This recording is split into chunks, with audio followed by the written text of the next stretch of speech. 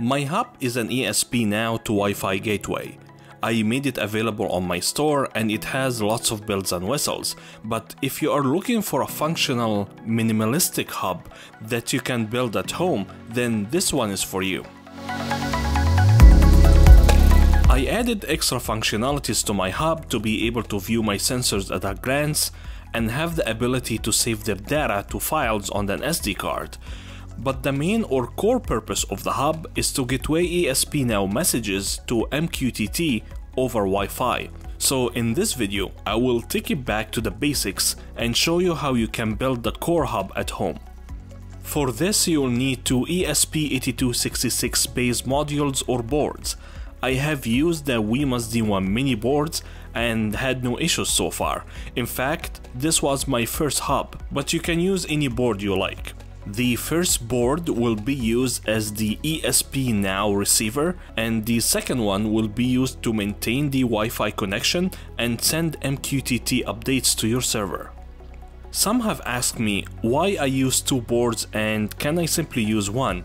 The answer is yes, it is doable, but there are limitations that require extra efforts to make it work. For instance, the channel used by ESP Now must match the Wi-Fi channel, otherwise ESP Now fails to initiate. And since the Wi-Fi channel is changed frequently by the access points or home routers, the code needs to address that. The sender also needs to be aware of that change, which involves scanning before sending ESP now, and that adds extra time and consumes more battery. By using two ESP Now modules, I can keep the ESP Now channel static and let the Wi-Fi channel roams. The wiring is very straightforward, TX to RX, RX to TX, ground to ground, and VCC to VCC you will be able to program these boards as you normally do. For example, the Wemos D1 Mini can be programmed using the USB to serial chip that's on board. And now today's video sponsor, PCBWay. I have been using PCBWay for years and they are my go-to manufacturer for all my prototypes. I've been averaging a week from the time I place an order to the time I have them in my hands. I'm very happy with the quality so far and ordering PCBs have come a long way, especially for hobbyists.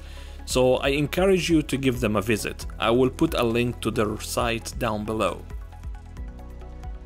I have taken the code made for the Hub 3 and stripped it down to the bare functionalities. I'm including the source code along with this video down in the description. There are two files, one for each Wemos D1 Mini or whatever board you picked.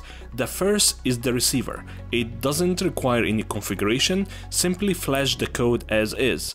The second one is the Wi-Fi gateway, and as you may have guessed it, it requires some configuration data like the Wi-Fi SSID, password, the MQTT server URL, username and password. Once these are updated in the code, it can be flashed to your second board. If you are using the same ESP Now data structure as me, then you should have a functional ESP Now to MQTT gateway right out of the box. But if you want to use your own, then you might need to go back to the gateway code and make your changes there to fit your needs. The good news is the receiver doesn't require any alteration because the received data is sent as is. So that's it, you should have a functional ESP now to MQTT gateway. If you want to learn more about my hub, I will link to some of my previous videos down below. If you are interested in building my Hub 3, I still have some PCBs available on my store. That's it for me, thank you for watching.